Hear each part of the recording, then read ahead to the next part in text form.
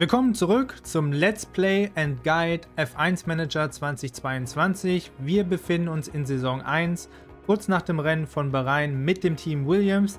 Wir schauen uns zuallererst mal die E-Mails an, die wir so bekommen haben. Die wiederholen sich auch meistens. Also wenn ihr damit Erfahrung habt, dann könnt ihr einfach nach dem Betreff eigentlich meistens schon die E-Mails für euch so ein bisschen abhaken. Ähm, die Beurteilung zu den Fahrern, wo man es ähm, die Attribute verbessern sollte, ignoriere ich fleißig, weil ich, wie gesagt, davon ausgehe, dass ich mittlerweile die Mechanik eh besser verstehe, als es uns das Spiel, ich sag mal, vorschlägt. Ähm, das ist immer die Bewertung natürlich, ähm, ne, wie, wie der Vorstand auch zu euch steht. Ähm, dazu vielleicht einmal kurz da reingehen in das Menü. Vorstandsvertrauen, hier seht ihr die ganzen wichtigen Daten, ne, dass sie eben ähm, im Moment glücklich mit uns sind, weil wir eben Minimum 9. sind in der Konstrukteurs-WM. Wir haben zwar noch keine Punkte geholt, aber wir waren ja vor Aston Martin. Und ähm, ja, könnt ihr euch hier alles mal durchlesen. Ist nicht so spannend. Wie gesagt, euer Saisonziel solltet ihr natürlich im Blick haben. Mir fehlt ehrlich gesagt die Erfahrung, ähm, ab wann man wirklich entlassen wird. Also wie stark man sein eigentliches Ziel in der ersten Saison zum Beispiel verpassen muss, um entlassen zu werden. Das weiß ich nicht. Ich weiß nur, es gibt immer mal wieder so, so Zwischenbewertungen zur Hälfte der Saison zum Beispiel oder auch früher. Und dafür bekommt ihr dann auch nochmal extra Prämien oder Geld zugesteckt. Ähm, ansonsten spricht alles für sich. Ähm, Budget ist auch klar, ne? wir kriegen ungefähr monatlich die 4 Millionen, hatten wir ja auch schon gesehen nach dem ersten Rennwochenende. Teamwertung vielleicht nochmal ganz wichtig, ich bin da in der ersten Folge schon mal kurz drauf eingegangen. Ihr seht eben die Teamwertung, die bestimmt eben, welches Personal überhaupt äh, zu euch kommen würde, egal ob Fahrer oder, oder Ingenieure. Und da könnt ihr auch mal sehen, die Teamwertung besteht immer aus den letzten vier Jahren, beziehungsweise aus den letzten vier Fahrer- und Konstrukteursmeisterschaften. Das ist sehr wichtig zu wissen. Das heißt, es ist sehr unwahrscheinlich, dass wir vielleicht äh, nächstes Jahr oder übernächste Saison schon jemanden wie Hamilton verpflichten können, aber in drei, vier Jahren ist es schon wahrscheinlicher. Wie gesagt, die ganz große Langzeiterfahrung habe ich mit dem Spiel auch noch nicht, aber so wie ich das hier verstehe, dass es eben immer eine Art Vierjahreswertung ist, sollten wir das ja hinbekommen können, dass wir vielleicht im dritten oder vierten Jahr auch so einen absoluten Topfahrer zum Beispiel engagieren können. Ähm, ihr seht, dass da noch andere Sachen reinfließen, wie zum Beispiel auch Tradition. Das heißt, an wie vielen WMs hat ein Team in der Vergangenheit schon mal teilgenommen und äh, wie viele hat es auch gewonnen. Und dann seht ihr eben unten auch die ganzen Stufen, die es so gibt. Spitzenreiter ist also 750 plus, was man wahrscheinlich haben muss, um dann wirklich das absolute Top-Personal bekommen zu können. Ansonsten, äh, was noch wichtig, Profil nicht, das sind nur eure eigenen, ich sag mal, Statistiken. Ist vielleicht interessant, da mal nach ein paar Saisons reinzuschauen. Regeln und Vorschriften werde ich ein anderes Mal drauf eingehen. Äh, was können wir uns nochmal kurz anschauen? Ähm, bei Finanzen wollte ich nochmal kurz was zeigen. Und zwar Monatsguthaben finde ich eigentlich am wichtigsten. Hier seht ihr immer, was eben hochgerechnet wird. Und da kommen wir eben auch ungefähr ne, auf diese 4 Millionen, die wir ungefähr im Monat gut machen. Und letzten Monat kann man sich nochmal anschauen, wenn es einen interessiert. Aber ich finde eigentlich nur das Wiederkehrende wichtig, dass ich auch weiß, womit ich planen kann. Ansonsten sind wir hier auch erstmal fertig. Schauen wir uns weiter die E-Mails an, die wir noch bekommen haben. Ähm, genau, Übersicht schaue ich mir auch meistens nicht an, interessiert mich nicht, beziehungsweise ich gucke ja immer in die Ergebnisse rein, von der weiß ich, wie der Stand in der WM ist und so. So, das ist etwas, was ihr am Anfang immer bekommt.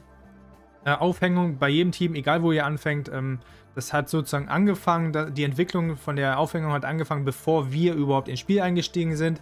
Und dann ne, will uns das Spiel einfach tutorialmäßig auch zeigen, wie man damit umgeht. Da gehen wir jetzt einfach mal auf Lager oder so gehe ich immer da rein.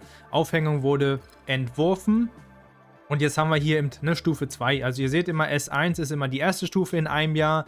Dann kommt am Ende S2 und so weiter, je nachdem wie viele Teile ihr ähm, bei euren Autoteilen wirklich entwickelt über das Jahr hinweg. Und dann können wir hier einfach einklicken, ne? also wir, wir reinklicken, wir können hier, haben eben aktuell nur einen Teil, das heißt, wir müssen uns entscheiden für das nächste Rennen, was in vier Tagen ist. Ähm, welchem Auto geben wir das? Das macht natürlich am meisten Sinn, das dem ähm, Auto 1 oder dem, dem best, besseren Fahrer zu geben. Da bauen wir es erstmal ein. Und ganz wichtig ist auch immer, ihr braucht für eine neue Aufhängung natürlich auch, sollte sie kaputt gehen, genauso wie andere Autoteile, wollt ihr natürlich auch Ersatz haben. Ja, dass ihr auch in einem Rennen zum Beispiel den Frontflügel wechseln könnt. Und da macht es im Sinn, dann auch auf Anfertigen zu gehen. Und ich mache es immer so, dass ich eigentlich von jedem Autoteil versuche, vier Teile insgesamt zu haben. Ne? Also eins für Auto 1, eins für Auto 2 und dann für jedes Auto nochmal ein Ersatzteil. Und wenn da mal was kaputt geht an einem Rennwochenende, produziere ich es halt nach, sodass ich immer auf vier Teile komme. Ihr habt ja auch wieder unterschiedliche Herangehensweisen, ist ähnlich wie, wie beim Entwurf. Ähm, hier werden sie es einfach so ohne Hast abschließen und kriegen auch ein bisschen mehr Erfahrungspunkte. Schnell, dann sind sie einfach schneller fertig. Wir können mal schauen, rechts hatten wir fünf Tage, jetzt wird es in vier Tagen gefertigt. Die Kosten gehen natürlich ein bisschen nach oben. Ein bisschen ist gut, 50% mehr. Und ähm, das Fachwissen, was die Ingenieure bekommen, ist auch geringer. Also schnell auch wieder nur dann machen bitte, wenn es sich wirklich lohnt.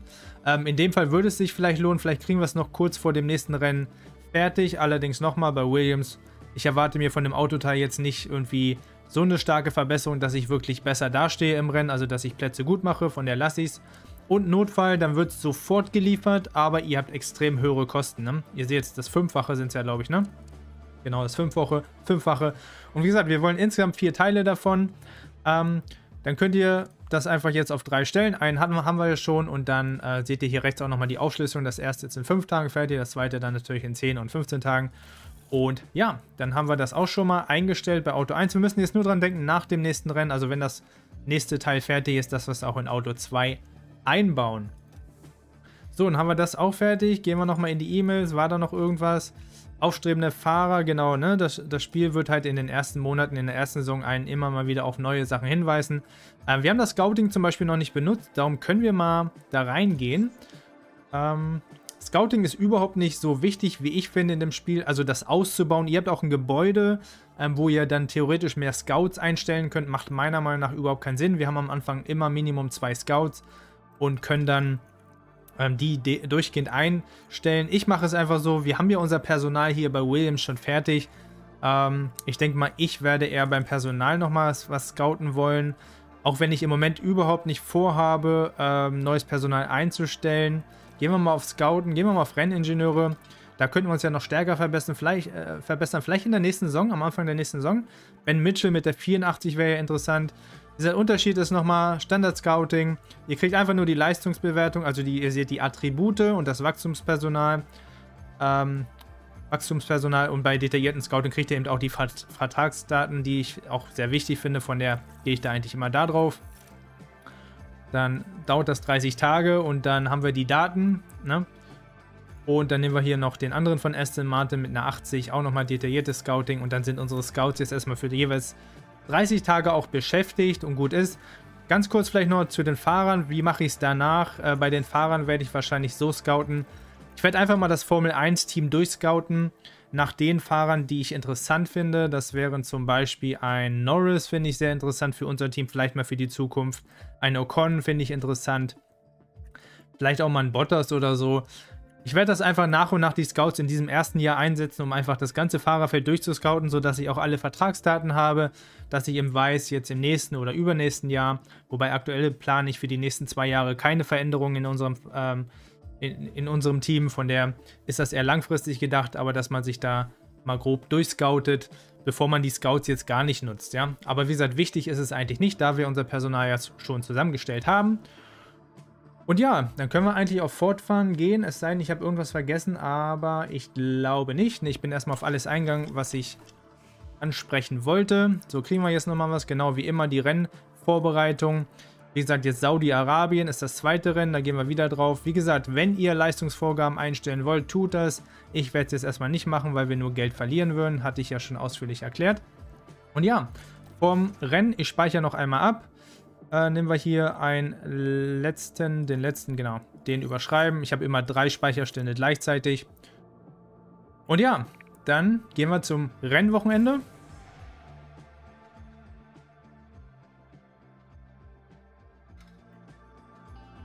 Ja, an diesem Rennwochenende werde ich es ein bisschen anders machen. Ähm, das Training, ich zeige euch mal, wie man noch ein bisschen schneller das Setup verbessern kann das Auto-Setup, des Fahrers Setup-Vertrauen höher kriegen kann, ohne jetzt alle drei Trainingssessions komplett ähm, durchgehen zu müssen. So, wir haben gutes Wetter, das ist alles in Ordnung.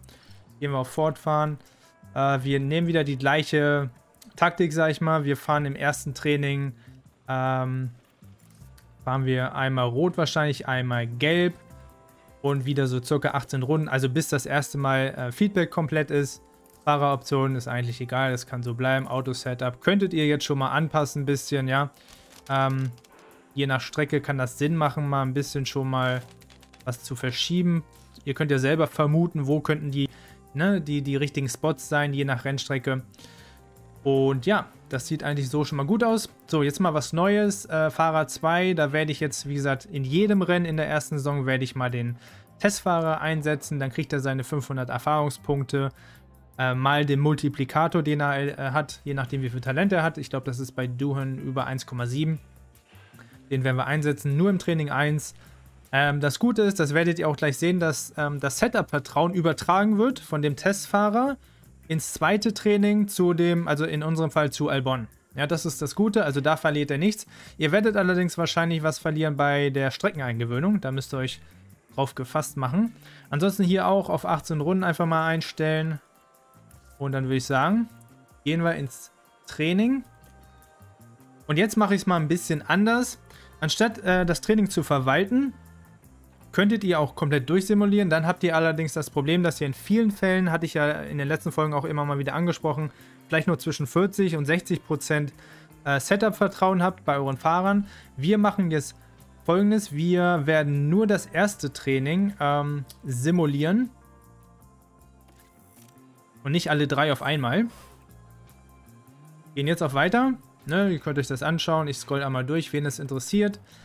Und jetzt sehen wir mal, ne, der Fahrer, der Reservefahrer hat jetzt auch seine 500 äh, Erfahrungspunkte bekommen. Autoteilekenntnis ist jetzt auch ein bisschen höher gegangen. Setup-Vertrauen ist natürlich richtig mies, ne, gerade beim Reservefahrer, aber auch bei Gasly nicht besonders gut. So, jetzt in der Vorbereitung für T2 können wir das Ganze einstellen. Ja, ganz normal, so wie wir es kennen. Schauen wir mal. Ich fange immer mit den Geraden an und den größten Ausschlag bei den Geraden macht ihr mit dem Heckflügel. Da schlecht ist, gehen wir mal vielleicht so in den Bereich. Und hoffen wir mal, dass es da ist. Dann gehe ich immer, gucke ich aufs Übersteuern. Den größten Ausschlag dort macht ihr immer mit dem Frontflügel. gehen wir nochmal vielleicht ein bisschen weiter nach links. So, dann schaue ich auf die Traktion. Den größten Ausschlag hier macht ihr mit der Stabilisatorverteilung. Wobei da sieht es schon ganz gut aus. Hier ist gut, also könnte hier vielleicht auch ne, optimal sein. Schauen wir mal. Dann schaue ich auf Bremsstabilität und Kurvengeschwindigkeit immer gemeinsam. Beim Radsturz stelle ich das immer ein. Da hatten wir jetzt bei Bremsstabilität schon ein großartig. Das heißt, da müssen wir eigentlich wieder näher ran. Und die Nachspur regelt dann in erster Linie die Bremsstabilität. Die setze ich jetzt nochmal so ran. Und dann denke ich, ist das eigentlich ganz gut eingestellt. Großartig. Schlecht sind wir weit weg. Weit weg, das passt. Äh, weit weg und gut. Ne, ist auch im Rahmen. Sieht eigentlich gut aus. So, jetzt ist Albon natürlich wieder drin. Ähm, wir haben das Setup-Vertrauen übernommen vom Reservefahrer. Ganz wichtig zu wissen, das ist dann nicht immer so schlechte 14%, auch wenn wir jetzt leider damit ein bisschen Pech hatten. So, auch hier wieder das gleiche. Erst Heckflügel einstellen. Hier raten wir mal, dass es nach rechts vielleicht geht. Dann übersteuern, mit dem Frontflügel einstellen. Heckflügel vielleicht nochmal nachjustieren. So, dann Traktion. Da sind wir schon recht weit weg. Ähm, genau, gehen auch nicht, können auch nicht weiter weg. Von der bleibe ich da jetzt erstmal so. Und dann wieder Bremsstabilität und Kurvengeschwindigkeit mit Radsturz und Nachspur. Ja, Bremsstabilität muss ja ganz weit eigentlich nach außen. Machen wir das Ganze vielleicht so. Erstmal, weil wir überall schlecht sind, müssen wir eh wieder so ein bisschen raten. Ähm, die Richtung ist, denke ich, klar ne, bei allen, aber wo es dann genau richtig ist, also ganz optimal, das werden wir dann erst sehen. So, hier stellen wir auch wieder das ruhig so ein bisschen ein. Ich weiß nicht, ob das die KI automatisch machen würde. Ähm, da gehen wir mal auf Nummer sicher. Wir müssen uns natürlich darauf verlassen, wie dann die KI mit den Reifen umgeht, also welche Reifen sie nimmt. Wenn ihr es simuliert, äh, da können wir keinen Einfluss drauf nehmen. So konnten wir jetzt aber Einfluss auf das Setup ein bisschen nehmen. Und ja, können jetzt auch ähm, Training 2 simulieren. Das heißt, das, was dann in der Mitte vom Training 1 und 2 passiert, können wir natürlich nicht beeinflussen, wenn wir simulieren. Das macht die KI. Aber wir haben immer einmal den Einfluss am Anfang zumindest. Ja? Und ihr seht, jetzt haben wir schon immerhin 73% und 60%. Das ist schon mal mehr als das, was ich oft hatte, wenn ich alle drei Trainingssessions bis zum Qualifying von der KI habe simulieren lassen. Ja? Dann habt ihr oft wirklich nur 40 bis 60%. So greift ihr minimal ein, verschwendet minimale Zeit und kriegt trotzdem euer Setup-Vertrauen relativ hoch dafür, dass ihr simuliert. So, jetzt sind wir ähm, in der T3-Vorbereitung. Und werden jetzt nochmal genau das gleiche machen. Ich gehe ja schon mal auf die Runden, dass ich das nicht vergesse. Manchmal vergesse ich das. Ähm, und dann eben das Setup nochmal einstellen. Wie gesagt, das ist jetzt das letzte Mal, dass wir eingreifen können. Und zwar wieder gucke ich auf Geraden. Da sind wir aber schon ne, auf großartig, von der ist das gut. Übersteuern mit Frontflügel, wie gesagt, hauptsächlich. Da gehen wir mal nach links, weil es schlecht ist. Vielleicht so in dem Bereich. Dann gucken wir nochmal auf die Geraden, die sich natürlich mit verschoben haben. Da müsst ihr immer drauf achten. Großartig ist das ein bisschen weg. Das heißt, Heckflügel ein bisschen anpassen. Ne, das könnte optimal sein. Sind wir auf jeden Fall nicht weit weg, denke ich. Traktion ist das nächste. Abstand ist, also wir haben gut bekommen. Abstand könnte in dem Bereich richtig sein. Ich gucke nochmal, was wir noch machen können. Ja, das könnte schon zu viel sein. Lassen wir es so. Dann gucken wir uns Bremsstabilität, Kurvengeschwindigkeit an. Hier sind wir bei gut und großartig. Also gerade bei Kurvengeschwindigkeit müssen wir jetzt mit dem Radsturz da viel näher rankommen. Da wir eben, ne, jetzt seht ihr die Begrenzung, der Regler geht nicht weiter nach rechts, wir müssen aber weiter nach rechts kommen, weil wir schon großartig haben. Jetzt müssen wir mal gucken, äh, welcher der anderen noch einen Ausschlag hat. Äh, ich glaube genau, äh, Frontflügel ist da glaube ich mit am besten. Da ne, könnte das so sein. Jetzt sind wir bei Frontflügel natürlich wieder ein bisschen näher rangekommen, aber geht nicht anders, kriegen wir nicht anders hin aktuell auf die Schnelle. Äh, ich denke mal, so wird das dann auch passen bei der Kurvengeschwindigkeit. Bremsstabilität können wir jetzt mit der Nachspur noch ein bisschen regeln. Ähm, hoffen wir mal, dass es rechts davon ist, so in dem Bereich vielleicht. Und dann denke ich, haben wir das eigentlich ganz okay eingestellt. Die KI wird auch immer noch einen kleinen Fortschritt auf jeden Fall Minimum machen, ist bis jetzt meine Erfahrung. Also wenn die das Setup jetzt noch ein bisschen verändert in der Trainingssession 3, dann wird es auf jeden Fall auch noch ein bisschen besser. Also es wird eigentlich nie schlechter, wenn die KI da irgendwie was dran rumfummelt. Ja, da könnt ihr euch eigentlich auch drauf verlassen. So, bei Albon machen wir nochmal das gleiche. Wir haben überall straight gut bekommen. Eckflügel vielleicht nochmal ein bisschen nach links anpassen, so in dem Bereich. Frontflügel gucken wir uns auch an, das ist jetzt Ratespiel, ne? Ist es rechts oder links davon? Tja, keine Ahnung. Versuchen wir es links davon. Ähm, danach, wie gesagt, Traktion schaue ich mir immer gern an mit der Stabilisatorverteilung. Einmal nach rechts, ist in Ordnung. Dann Bremsstabilität und Kurvengeschwindigkeit mit dem Radsturz. Aber das sieht eigentlich alles vom Abstand schon ganz gut aus. Vielleicht nochmal leicht das Ganze anpassen. Das ist alles nach Gefühl hier dann. Na, wenn ihr eben nicht... Das ist eben ganz blöd, wie es jetzt hier bei Albon aussieht. Weil bei vielen ähm, hier, wo das grüne der grüne, die grüne Markierung noch relativ mittig ist, müsst ihr halt wirklich raten, ist es jetzt links das Richtige oder rechts davon das Richtige. Das ist halt so die blödeste Situation, die man haben kann beim Setup einstellen. Aber ja, weiter. Und ähm, das werden wir auch bis zum Qualifying simulieren. Und ihr habt gesehen, wir sind viel schneller als in der letzten Folge. Klar, in der letzten Folge habe ich auch noch viel erklärt nebenbei. Aber ihr seid viel schneller und habt trotzdem, jetzt zumindest bei Gasly, ein Setup-Vertrauen von 86%. Bei Albon hatten wir eben leider das Pech. Erstens hat er die erste, äh, war die, die, die, das, die, das erste Training lief einfach richtig blöd mit dem Reservefahrer, der da nur 14% Setup-Vertrauen hatte, ja. Also das werdet ihr auch nicht immer bekommen, von der das ist nicht ähm, aussagekräftig, kann ich euch aus meiner Erfahrung sagen, sondern eher das. Also ihr werdet regelmäßig zwischen 80 und vielleicht sogar 100% erreichen, auch mit dieser Variante. Und ihr seht, wie viel Zeit ihr einspart im Vergleich ähm, zur letzten Folge, oder nee, nicht in der letzten Folge, wann haben wir das gemacht? In der zweiten Folge von diesem Let's Play, wo wir mal ganz ausführlich das Training durchgegangen sind. So simuliert ihr zwar viel, greift trotzdem ein bisschen in das Setup-Vertrauen ein, kriegt trotzdem eure 80% plus regelmäßig, garantiere ich euch. Wie gesagt, das ist jetzt mal ein Ausreißer nach unten. Ähm, das sollte nicht oft passieren. Ich behaupte mal auch, ich bin da hier eben drauf eingegangen. Bei dem Setup-Vertrauen war ja auch vieles gerade blöd beim Letz, bei der letzten Einstellungsmöglichkeit. Wir wussten nicht, gehen wir jetzt nach links vom, vom, ne, vom ursprünglichen, was wir eingestellt haben, oder rechts davon, das lief einfach blöd. Das solltet ihr eher selten bekommen, wenn ihr es so macht wie ich. Wie gesagt, die Regel sollte sein, dass ihr 80% plus kriegt. Und ich finde, wenn man so viel Zeit einspart, gegenüber der Variante, dass man das Training vollständig selber verwaltet, ähm, sind 80% plus echt super.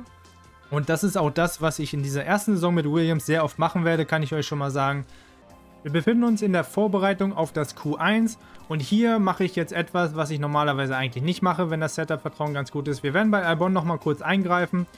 Ähm, da es eben so schlecht war mit 65%, wie zumindest hier diese starken Ausschläge, wo es schlecht ist, können wir nochmal was machen, indem wir hier vielleicht einen Heckflügel nochmal ein bisschen verschieben. In einem Bereich, wo es auf jeden Fall besser aussehen sollte. Genauso Bremsstabilität sollte, sollten wir nochmal eingestellt bekommen, dass es ein bisschen besser sein, ja, sollte, sein muss eigentlich, wenn wir die Bremsstabilität jetzt ein bisschen höher kriegen. So großartig passt. Oben vielleicht übersteuern, mit dem Frontflügel nochmal ein bisschen anpassen. Wir waren ja schon mal auf großartig, dass wir vielleicht so in dem Bereich gehen. Äh, dann müssen wir die Bremsstabilität doch nochmal ein bisschen mehr anpassen. Vielleicht hier mit, dem, mit der Nachspur nach links. So, Kurvengeschwindigkeit ist wieder dran, Bremsstabilität ist in Ordnung. Ähm, Aktion, ja. Ist es links oder rechts davon, ist wieder so ein, ein Ratespiel. Ne? Ich mach's mal leicht rechts davon, dass wir nicht zu weit von gut abweichen, sollten wir falsch sein. Aber der Rest ist in Ordnung für mich. Normalerweise mache ich das vom Qualifying nicht mehr. Jetzt habe ich es gemacht und ja, dann starten wir ins Qualifying. Äh, das könnt ihr natürlich auch simulieren, werde ich in der Saison wahrscheinlich mit Williams auch ein paar Mal machen. Weil wir da einfach keine guten Platzierungen holen werden. Ich pausiere wie immer das Spiel erstmal und gucke mir die Ansicht an, wie das mit den Fahrern aussieht. Aber es sieht eigentlich immer ähnlich aus. Am Anfang fährt erstmal sofort keiner raus und dann fahren eben nach und nach die ersten raus. Und dann habt ihr halt immer diese Spitzen auch ganz am Ende. Ich hatte euch das ja schon mal erklärt, wie ich das eigentlich immer mache. Ich gehe jetzt einmal am Anfang raus mit Gasly und schick Albon hinterher.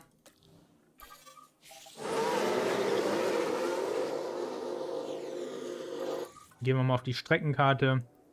Ja, und jetzt könnt ihr auch mal gucken, von dem Zeitpunkt, wo ihr auf Losschicken geklickt habt, das war ja ungefähr bei 17.50, vielleicht ein bisschen früher, ähm, wie lang die Einrollrunde ist. Ne? Das hatte ich euch ja in der letzten Erklärung zum Qualifying auch schon mal gesagt, dass das ein super Tipp ist, damit ihr einfach ein Gefühl dafür bekommt, jetzt für das Ende der Session, äh, wie lang ist diese Einrollrunde.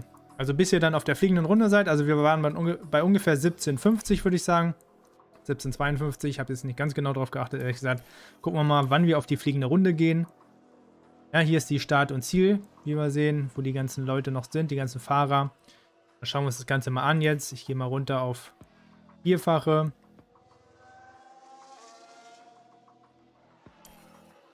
So, dann sind wir jetzt gleich drüber, also von ungefähr 17,50, ja. Das heißt ungefähr 1, weiß ich nicht, 1,50, 1,52 brauchen wir für die, für die Einrollrunde, für die vor der fliegenden Runde. Da packen wir vielleicht nochmal 10, 15 Sekunden als Sicherheit drauf. Dann sind wir bei etwas über 2, sagen wir mal 2,5 ungefähr. Das heißt, wir wissen jetzt für das Ende des Qualifyings, dass wir spätestens bei 2,5 rausfahren sollten, sodass wir noch frühzeitig auf die schnelle Runde kommen. Und jetzt sieht man mal das, ich, ich kann das mal, ich pausiere mal kurz das Spiel. Ich konnte das ja vorhin, ähm, nicht vorhin, in der letzten, vorletzten Folge in Qualifying, wo ich das ausführlich erklärt habe, nicht zeigen. Ja, ihr seht jetzt, wie stark man aufgehalten wird. Das ist, also man hat es jetzt nicht perfekt gesehen, aber guck mal, die, die kämpfen jetzt sogar gegeneinander. Ähm, das Problem ist weiterhin, wie gesagt, ähm, bei Spielversion 1.6, dass die Fahrer nicht vernünftig zur Seite fahren, sei es jetzt im Qualifying.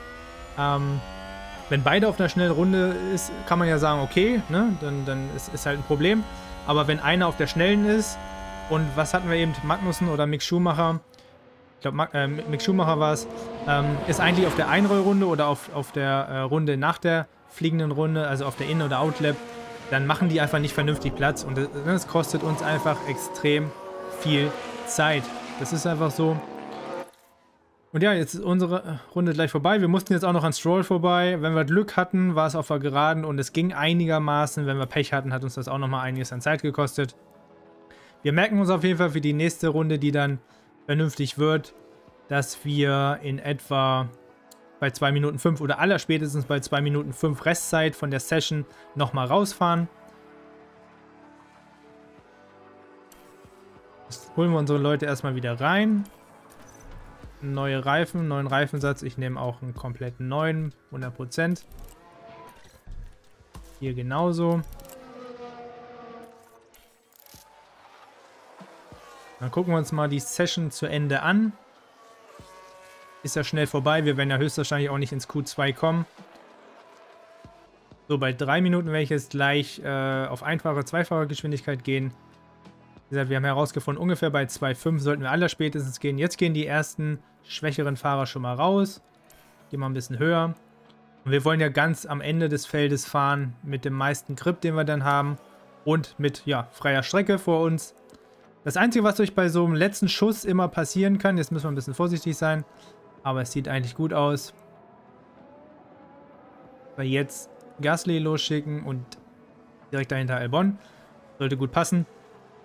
Vielleicht wird es sehr knapp, aber wir haben das ja grob ausgerechnet. Ich hoffe mal, das passt.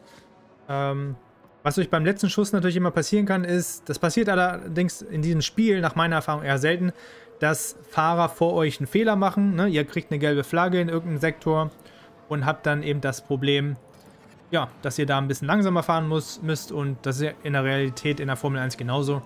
Dann habt ihr halt Pech gehabt. Darum sollte man meiner Meinung nach auch immer am Anfang der Session irgendwann mal rausfahren, dass man schon mal eine Zeit gefahren hat. Ansonsten, ja, wird einem die Runde ganz am Ende halt leider kaputt gemacht. Durch eine gelbe Flagge, durch einen Unfall von irgendeinem vor einem.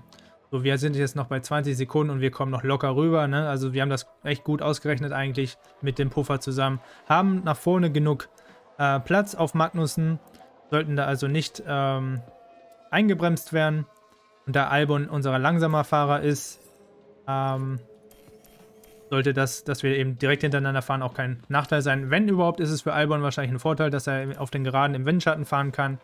Und ja, was haben wir erreicht? Gasly 17. Albon 19. Das heißt, wir kommen wieder nicht ins Q2, aber gut.